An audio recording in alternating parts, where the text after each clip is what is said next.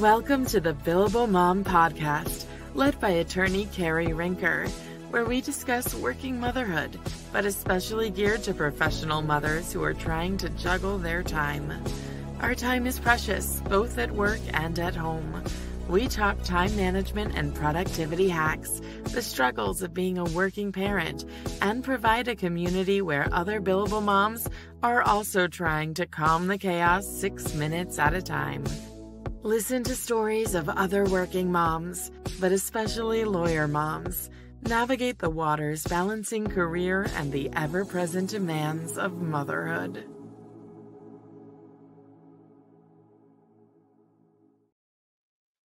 Hi, I'm Cari Rincker. I'm the Billable Mom. I'm really excited for today's conversation. We have Liz Nohren in the house, and uh, Liz is actually here right across town from where I'm recording this right now. I'm here in my hometown. So, Liz, why don't you introduce yourself to our listeners and a little bit about like where you are professionally in your path to becoming a billable mother? Yes, so um, my name is Liz Nohren, and I'm the managing partner of Dove and Dove Attorneys at Law in Shelbyville. And I practice a general practice of law. I do have a concentration, um, I think half my practice in family law. Um, yeah, so.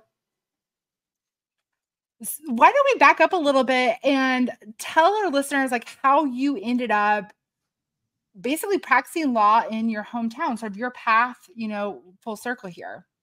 Yeah, so um, I was a graduate of Shelbyville High School, like you, yourself, and my father was an attorney here at Dove and Dove. We I grew up three blocks away from the law firm, so uh, I spent high school summers and breaks and college summers and breaks helping out at the firm. Uh, I knew pretty early on that I wanted to uh, go into law. So I um, uh, went to undergrad at Illinois Wesleyan, went on to law school, graduated, and then, like a lot of young attorneys, wanted to check out the city. So I did an internship in St. Louis one summer, and then I landed a final internship in Chicago, and then took a job in Chicago at a um, commercial boutique firm, which I thoroughly enjoyed. Uh, I was there about three, four years, and I just really didn't love living in the city. So I moved home and joined the family firm in 2004. And here we are today. So I know you're a mother of two children. And so tell us where you were professionally when you had your first child. So when I had my first child professionally, I was, um, uh, I mean, I, I was 30 or my early 30s. So I'd been out for, you know, almost a decade practicing. Um, I, again, live very close to the firm and uh, next door to my parents, uh, very close with my, my parents. And I, uh, I, you know, just was still litigating, doing the general practice, doing the grind. Um, and then my first child came and he's turning 16 this, this weekend, if you can believe it. I cannot believe it. Time flies. Um, so did you have a maternity leave? Did you think about a maternity leave before you had a uh, had a baby? How did you navigate all that? So I I didn't really have a maternity leave. It's a small firm. In fact, when I had my first son, it was just my father and then his partner who was kind of working part time, and uh, we didn't really talk about it. You know, I, the baby was coming. Um, you know, I was just going to kind of navigate, you know, organically slowing down a little bit, but still being able to, you know, appear when I needed to. I did have someone that was going to come to the house to help because I knew I wanted to nurse and I knew I wanted to be able to come back and forth as much as possible. Uh, the conclusion is I did a really bum job planning my first maternity leave. And so um, I did take maybe a couple weeks off, and then I was just, you know, back and forth between the office, you know, bring bringing the baby with me. I had a bassinet set up next to my desk, um, and then if I had court appearances or whatnot, you know, the baby would be with the the gal I had at the house, or my mom helped out a lot. Uh, so I didn't really have a maternity leave, so to speak, um, because again, with a small firm, it wasn't like there was someone that was just going to pick up my caseload.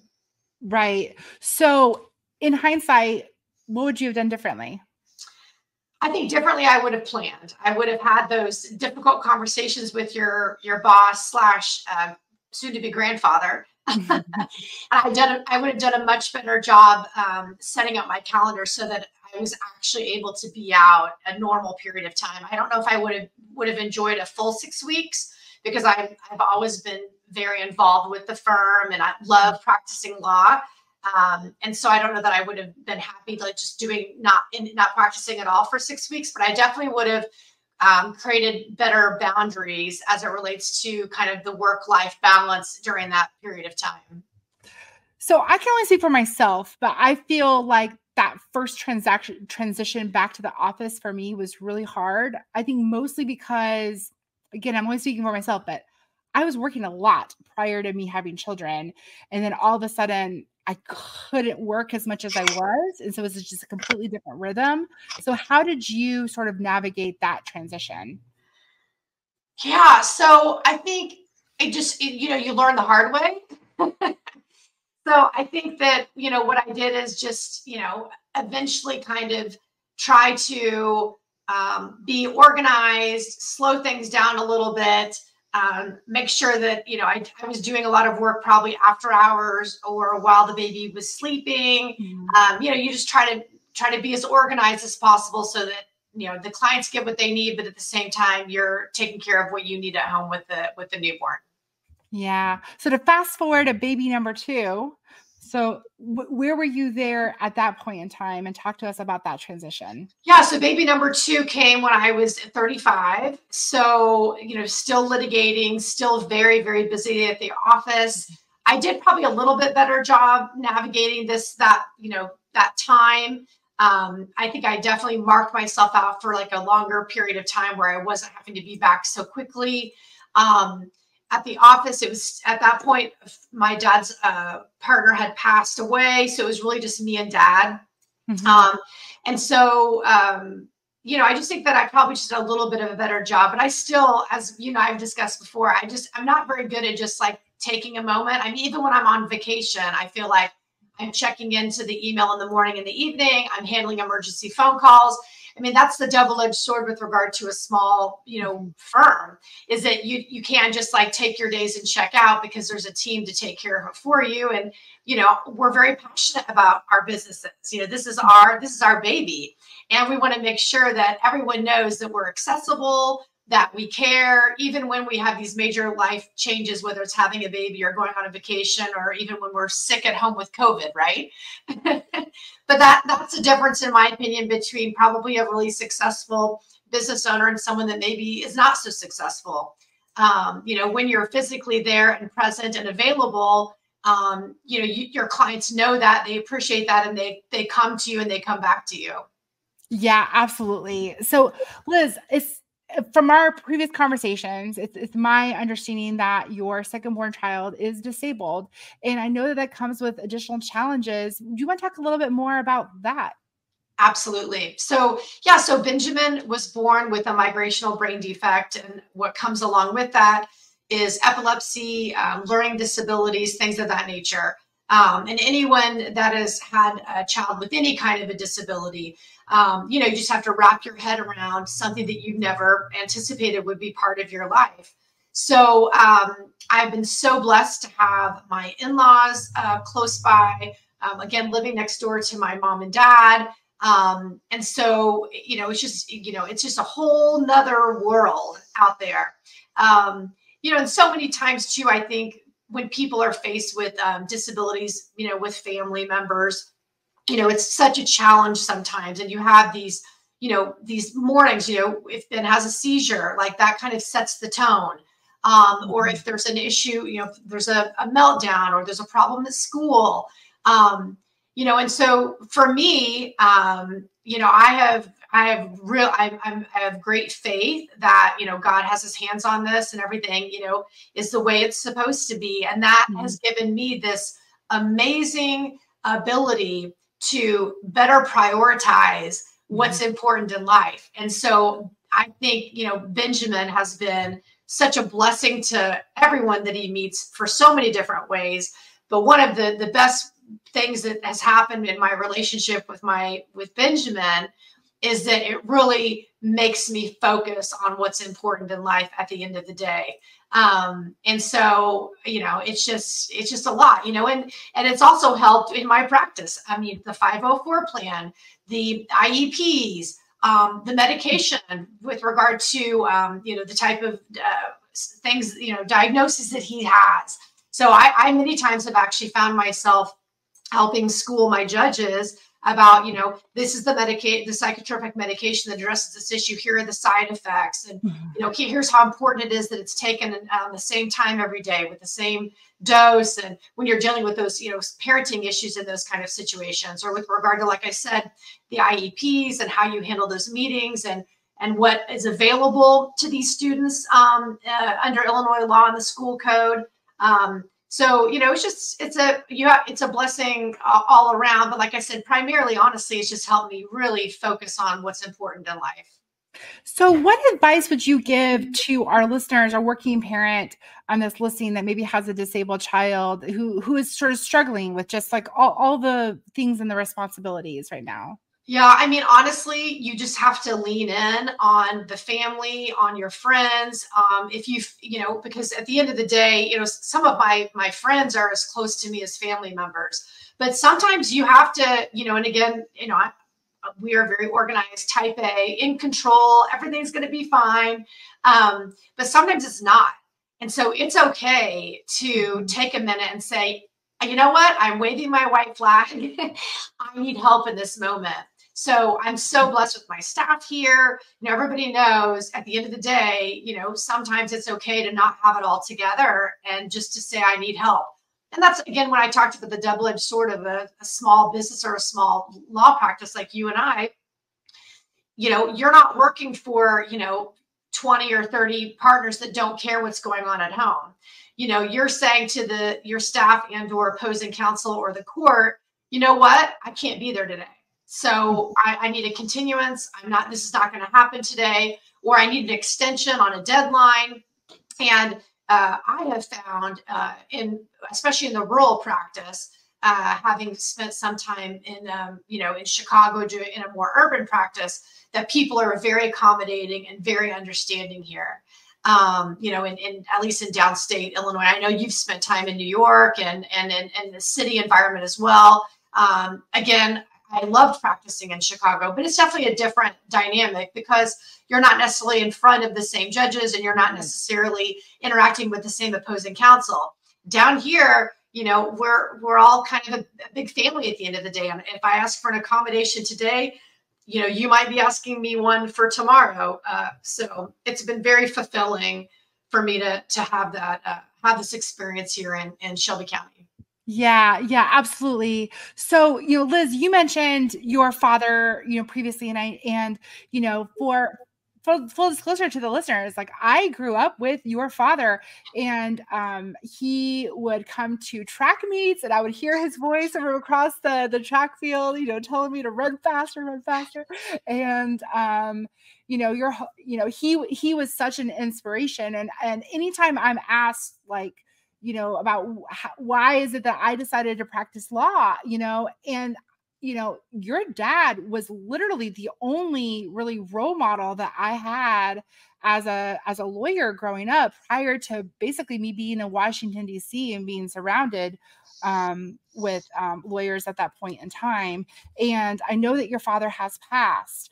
And so if if you feel comfortable do you want to talk a little bit about sort of that tragedy and navigating that because at that point in time he was running the firm you were his associate i believe and your whole world just sort of flipped upside down. Yeah that's a that, that's definitely a fair way to summarize it. Um he passed like two weeks before benjamin's first birthday in a like a tragic car accident uh, while he was on vacation with my mom. And again, you know, you you never you just never can can can be ready for something like that. Um, he was the managing partner of the firm. It was just the two of us, and you know, I, I it took a minute. I was really, really, you know, pondering like what my path is supposed to be. Um, and so, you know, I just once again I leaned in, I dug in. We had fantastic staff. I had tons of family support. The clients were amazing. And everybody gave me the time I needed to just take a breath. Uh, my uncle David Eberspacher, my dad's brother, was practicing in Coles County at the time. He came here and he was amazing, just kind of going through all the files with me and deciding, you know, what we could keep and what we should do.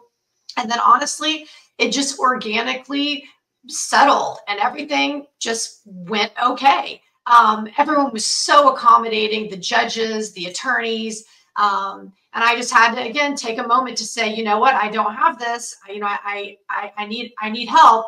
And you know, when I called Uncle David, and again, the staff was fantastic. I had other attorneys that came in to help me um, uh, with handling uh, files, and we were able to to navigate. And that was back in um, well 2012, and so here we are. Um, you know, uh, what is it, almost 14 years later, unbelievably. And it feels like it was yesterday, but um, you know, we're just we're just doing the best that we can. Dove and Dove has been around for over you know a century. It's a fantastic firm, and I'm so blessed to continue um, you know, the charge of Dove and Dove and, and how important it is for us to give the the best legal service available in the in the circuit to the client to our clients and um, we just have a fantastic relationship with uh, all of our uh, past, present, and future. And uh, it's just, you know, it's a very rewarding practice. Um, and so I, uh, I miss him so much. Uh, but he taught me well, and he was a great mentor to me as well. And uh, I just, I just am very thankful that I've been given the opportunity to continue this longstanding tradition um, of, yeah. of, providing that legal service through Dove and Dove. Yeah, he was a fantastic attorney. And you know, listen, Liz, I know that you, whenever you and I talked previously, that this running the law practice was not in your five year plan when you moved to Shelbyville.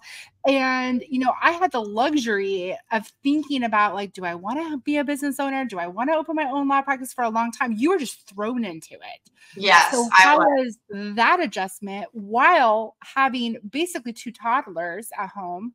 Yeah. So, um, yeah, I mean, I thought about a minute if this is really what I wanted to do. I mean, I prayed hard about it and I had very d- tough conversations with family um, because you're right. The, the five year plan was for me to work with my dad. We were going to be partners, and he was very active in the practice. And um, it was never that I was going to have my own firm. That was not anything that I ever even thought about.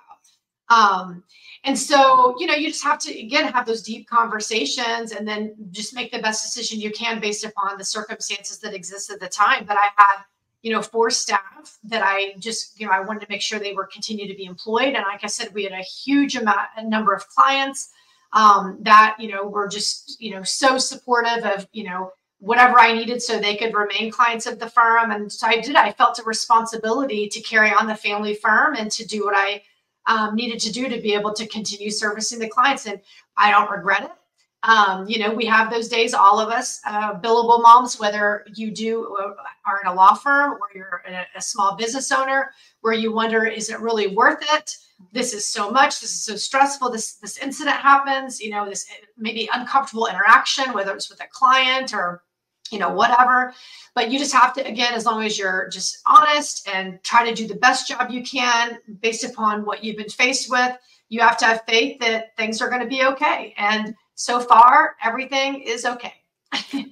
so uh, resilience is the word that really strikes me when I think of you a lot because you have you have really have have done such a phenomenal job through these various challenging chapters and one of which is your husband had had an accident as well and and and he's doing very good now but why don't you talk to us about like where you were as a working parent when you were navigating uh, Jeff's incident?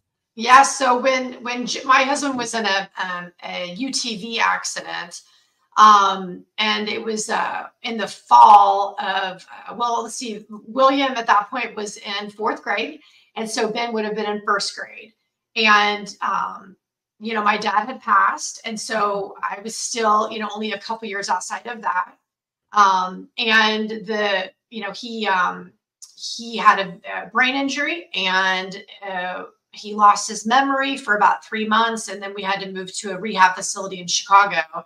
Um, Shirley Ryan, and I did that with the help of my mom and Jeff's mom because we just took turns uh, training it to Chicago and then taking care of the kids. But the the outpouring of support from my opposing counsel is what I remember during that period of time, um, because everything just had to just kind of be on hold and everyone was amazing. The the opposing counsel, they didn't ask any questions. I had judges and attorneys calling me while I was at the hot. We were we were at Springfield Memorial, then we went to St. Louis, then we went to Chicago, and they would call just to check on me.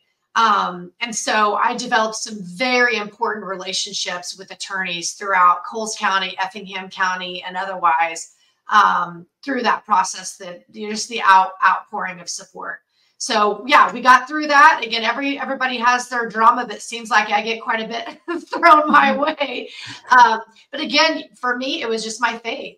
It was this is okay. We'll get through this one day at a time. You know i'm just i'm that person where you know no matter what you throw at me um, i'm going to keep navigating and i'm going to get through it. I'm not going to ever be that person that says woe is me um, we're just going to keep pushing along and, and getting to the to the other side of it so jeff's great he, um, you know, he does have a traumatic brain injury, but he's able to go back to work. He works for the mm-hmm. city of Shelbyville, uh, running their park. Um, and you know he he loves he loves his job you know he did he could have you know maybe done something different with regard to disability he didn't want to do that he wanted to get back to work and and that you know that's one of the reasons i love him so much i mean he and i both have very strong work ethic and we love our community and we always want to give back and um, so yeah, our little family is just we're we're doing fine, but it was a lot. yeah, that's that's awesome. And I, you know, obviously offering like phenomenal legal services throughout all of those different you know challenges liz we're going to take a quick break and hear from our sponsor but when we get back i want to talk time efficiency hacks because i know you've got them got it this episode of the Billable Mom podcast is brought to you by Rincker Law PLLC, focusing in food, farm, and family. When I'm not a mother juggling two littles, I'm the principal attorney of Rincker Law, where we believe that strong communities have both strong families and a food, fiber, and agriculture system at Rincker Law, not only do we do family and matrimonial law, but we also work with entrepreneurs and agriculture producers on business, estate, and succession planning. We are a client focused, results driven law practice. At Rincker Law, we also support other billable moms, not only here in the workplace at Rincker Law, but also with clients, helping them live their dreams both in business and at home. For more information, visit us at www.rinckerlaw.com. Cari Rincker, Rincker Law, Food, Farm, and Family. All right, so Liz, I feel like being a working parent has shown me how precious time is, especially at the office. I feel like I need to make the most out of every like hour that I have. And so talk to me about sort of your tips and tricks in that regard. Yeah, so um I'm very like checklist oriented.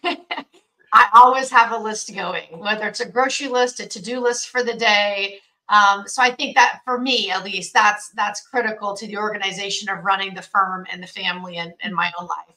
Um, but I also prioritize um, my health. So you know, I am a runner, and so, you know, getting my run in every day is, is on the list and actually just keeps me um, tasked. I need to get this done by this time and this time, and then I've got to get that jog in, and then the, you know, the dinner's planned and prepped. And um, so just being organized about it and having my in my mind, you know, how I'm going to handle things, it keeps me definitely, you know, efficient. But I got to give a shout out to Quick Scribe Dictation because I have that dictaphone with me in the car at home, at the office, and being able to dictate my thoughts of what needs to be done, etc., is just imperative uh, to being organized and making sure that nothing is missed. And then, of course, just having fantastic staff. I mean, I've been so blessed to have the staff that I have here. Um, I've had my administrative assistant, um, Deanna Yantis, has been with me for you know 20 years, and then um, the people that I've hired here, they're actually friends. You know, uh, Brittany Hardy is my assistant. She's one of my best friends. Um, I have um, Beth Logue, who I grew up with. We went to church together. I have Jeanette Reed, who's been with us now um, for at least four or five years, um, who came over from uh, Christian County. And so we're, you know, we're we're a family. We text each other. Um, we wish each other a happy birthday. We like to go on vacation together. And I think that's critical to the success of a firm because we're all so invested, not only in the firm's success, but in each other's success. And I care a great deal about the girls and um, their families and having family time. We prioritize that here. In fact, we changed the hours of the firm to close at 4 p.m um, years ago. Um, and you know, the firm used to be open Saturday mornings in the day. You you you might remember that growing up here. You know, Dove and Dove was open from nine to noon every Saturday. Well, I eliminated that pretty quick after my first child. Um, and then now in the summer, where we close at noon um, on Fridays, so the girls can be with their kids and their grandkids over summer break. Um, and so, you know, that does cause a little stress on a Friday morning to try to get everything done but it's a minor price to pay so that the girls can have time with their families. Yeah, that's awesome. So to take one of those tips one at a time here, starting with Quick Scribe, because I am not like fully a dictator. I um uh, an app called Copy Talk was recommended to me. Is actually an app on my phone, and I dictate sometimes, and then I get uh, emails with a transcription. Like how? Tell me how Quick Scribe works exactly, and like how do you utilize it? Yeah, absolutely. So Quick Scribe is just a traditional dictaphone. So you talk into it, and then when you put it into its docking station at the office, there's a, um, a basically a screen that comes up and you choose who it goes to and then it goes mm. to them verbally and they each have earphones and they pull up in the morning and see what's available for them. But i'll send that like it's not always convenient to be on email right? Whether it's just you're driving that'd be one reason. Um, but you know when i go home sometimes it's if i'm sitting in bed you know i don't want to be texting I, it's easier or emailing it's easier just to dictate and say okay listen I don't want to forget on Monday. You need to, you know, get back with me on this or that. Or I got a, I got a phone call from a frantic client Saturday night. You know, this is happening. See me on, uh, you know, Monday as it relates to an emergency motion. Um, so I love dictation just because, and, and the dictaphone with Quick Scribe, you can actually dictate to one person, for instance, and then just choose a different folder. So then when you put in your docking station, you can say, oh, that one goes to this person, that one goes to that person. So just, for me, it's just a very efficient way to communicate um, with your staff uh, when you're off hours. I also like dictaphone because sometimes when the girls are overwhelmed and I'm like, oh, I can tell everybody's got so much going on right now. See, if you send that one more email, you know, it's just like, oh, that's too much. So I'll dictate my thoughts and then hold it. And then when I know things have slowed down a bit, then I'll send it on to them. Yeah, that's a good that's a good suggestion because I feel like um when I finally get caught up, like everybody else around me is completely buried. Uh, so it's uh, it's like just like a, t- a tug of war. Uh, so to shift gears, because I know like you have have loyal staff that have been with you, and you know I have made some great hires along my career, and I have made some not so great hires. So tell me how you find good people, the right yeah. people. Well, I definitely have not always had the right people, that's for sure. Um, but I think that, that at the end of the day, especially where I sit right now, I think you have to do a deep dive as it relates to someone's morals, their character, um, their work ethic, um, and then make that decision. Because, um, you know, as you and I have talked about, when you meet someone or you look at their resume or their prior work history, that doesn't, doesn't necessarily take you to that second level of is this a person I want to work with? You know, you spend we spend more time with the people in our office than we do with the people that we love. I mean, we're here all day, um, sometimes weekends. Um, and they're the people that you know are critical to our financial survival not only for the success of our business but being able to you know earn income to support our lifestyle right and so for me, you just have to do that deep dive. The, the times that the people that have, been, have worked here at Dove and Dove that hasn't panned out, it's really about just the fact that we are just not on the same page as it relates to, you know our goals whether they be lifetime goals professional goals etc um, and our approach to you know to the practice so that's my advice so I, I think it was in the book e-myth attorney but the advice that was given in that book was basically just hire good people hire good people that with the ability to learn and you can teach them everything that they need to know I have found that that is easier said than done. You know, it's not so easy to always teach people all the things, and um, and so what are what are sort of your tips on sort of managing an efficient efficient team? Yeah. So, and again, you and I have chatted about this. Um, you know, three of my four girls here uh, came on board with zero legal experience, zero. Um, but they were good people with good work ethic um, common goals to to be successful. Again, I I knew three of them um, most of their lives. Um, and so, you know, I think that's that's where the team comes in. Do we have the common goal of the success of the business. Um, and to service the clients, eh, you know, in the same way, in the same manner, the best way possible? Mm-hmm. Um, and so, you know, in, in efficiency, you know, not everybody here has the same personality by any means, but efficiency wise, I think checking in is so important. You know, in this remote world of Zooms and Zoom hearings, and you know, I've never been a big fan of that. Um, I want to sit down and have a cup of coffee with you. I want to know how your your sick, you know, daughter is doing. Yeah. I want to know what you have planned for your next vacation. Um, and then I want to talk about, you know, what is your to-do list? Where are your priorities for what you're doing here at my firm? And do they align with where I'm at? I, I talk to the girls face to face, each of them, no less than once a week. Um, and I have a sit down uh, with uh, my administrative assistant once a week where we actually have an hour blocked out. I don't always give her the whole hour because sometimes I'm double booked in case she sees this. She's like, I don't get my full hour. but um, but I think that face to face time is critical, not only to continue to make sure that that relationship is healthy, but also that um, to again be on the same page efficiency wise is where are we at what have you got? There's more times than I can count. My girls will tell you during these meetings, I say, okay, give me this and give me that, take that off your list. Um, because I can tell your list is too long and I want to make sure that we're, again, we have the common goal of getting the work done. But um, I do that all the time where I say, okay, give that to me, let me do that um, so that we can work as a team going forward. I, I don't care if I'm drafting a notice of hearing or a financial affidavit, I, I will do whatever is necessary to make sure the client's work gets done. Yeah. So to, to shift gears, this is something that I struggle a lot with is the separation with work and life. And I we are recording this podcast on a Friday. And I am already starting to get stressed out about the weekend because I'm already starting to think about like, I've got a deposition next week I have to prep for. I have an emergency hearing I have to prep for. And like, oh my gosh, I need to get back to this client about the her prenup.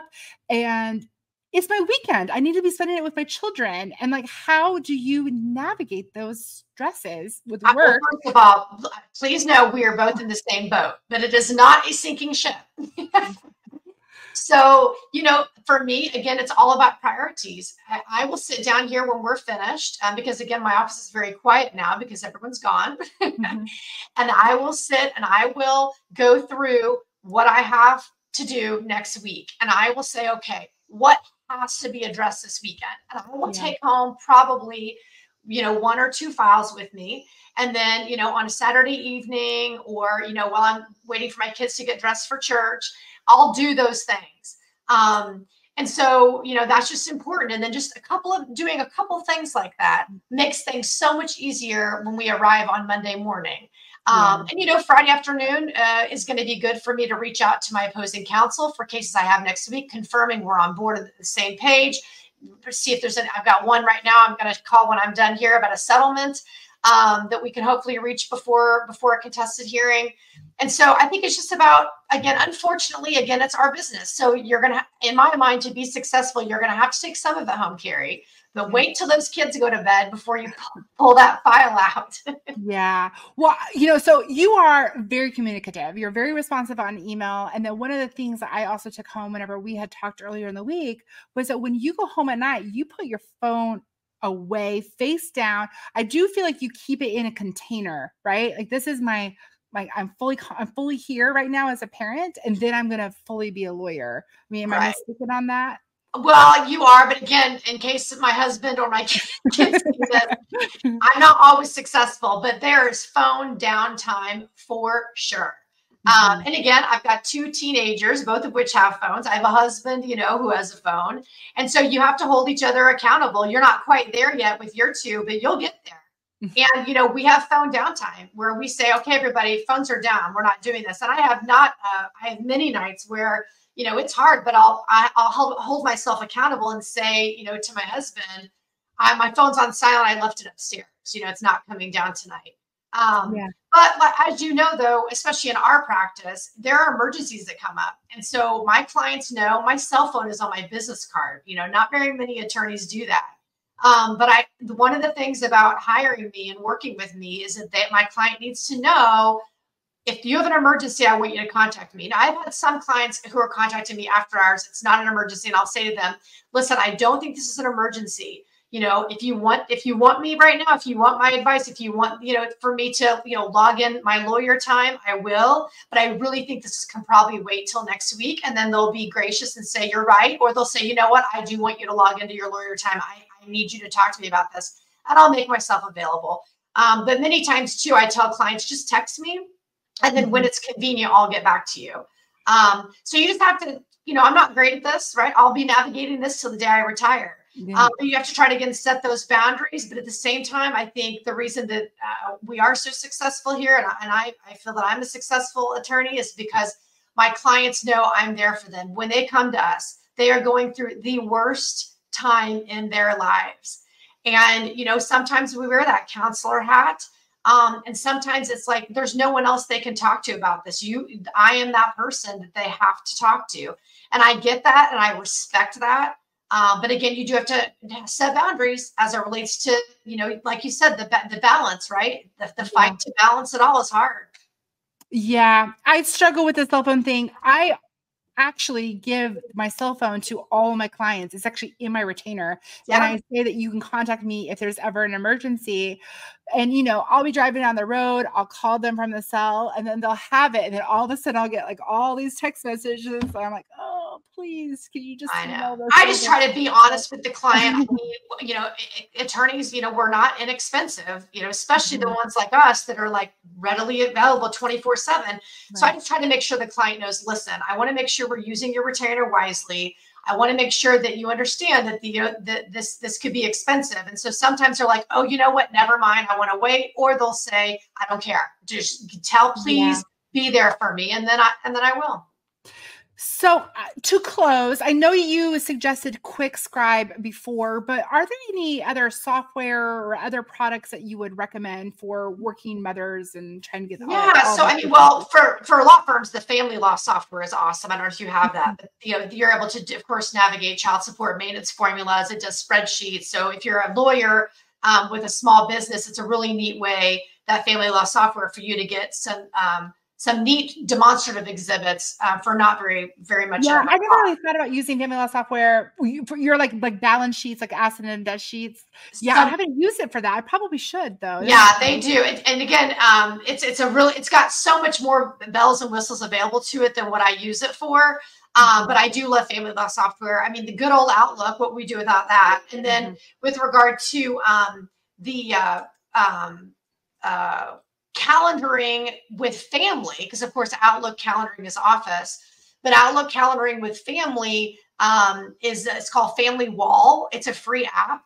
And so you, um, you know, you download it and then you invite your family members and then you put their personal, whatever's going on, whether it's doctor's appointments, basketball games, because I am, of course, the, you know, the president of my household. And so they're always looking to be saying, so what do we have going on this week? So now that everybody has their own phone, it's nice for me to say, pull up your app and it's all right there. So I'm not very good at updating it um, the way that I should with changes. I need to, this is going to make me um, be motivated to do that.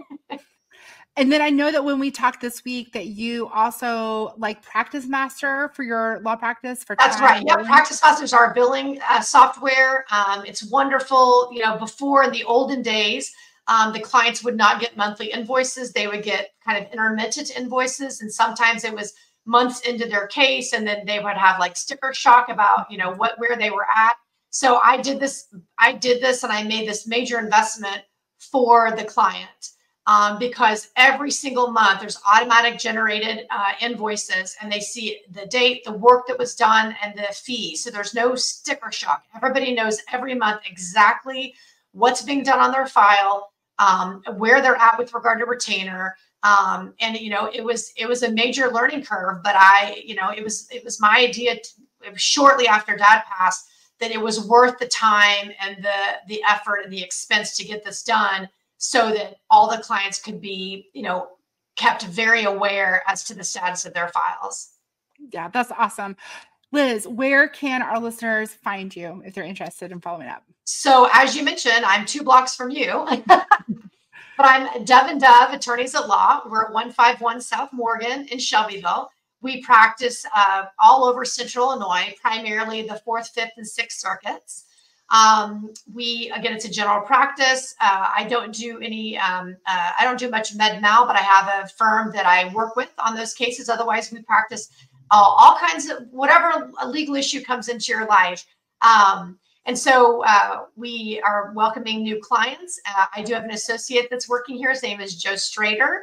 And so uh, he's he just graduated and started this fall, and he's doing fantastic. He just won his first appeal, so I'm very excited for him. Um, but uh, we love to, to meet you. We'd love to, you know, help out if anybody has anything going on. I love my mediations. I'm a licensed mediator, as you are as well. We, we love that. And of course, uh, I also am uh, one of three collaborative trained um, attorneys in the Fourth Circuit, you being one, and then of course Twyla Orr. So that's always exciting to to talk to about collaborative law and, and settling uh, the case in a, a less contentious uh, manner. Um, yeah, so I just want to thank you for a minute, Cari, before you close, because it is empowering for women to support women.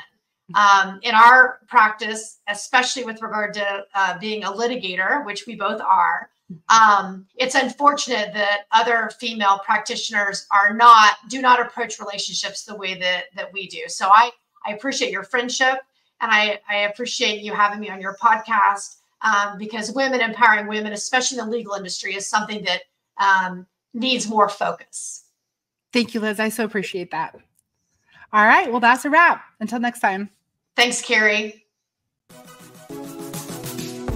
Thank you for listening to another episode of The Billable Mom. At The Billable Mom, we don't pretend to have the answers, but instead have all the questions. Please find us on social media and join the conversation at, at the Billable Mom on Instagram, Facebook, Twitter X, Pinterest, and YouTube. We also have a Facebook group where like minded billable moms find solidarity and provide a resource to one another. You can learn more about the Billable Mom and our picks for juggling work and motherhood at www.thebillablemom.com. You can also connect with Cari Rincker directly on social media at Cari Rincker. Until next time, let's calm the chaos six minutes at a time.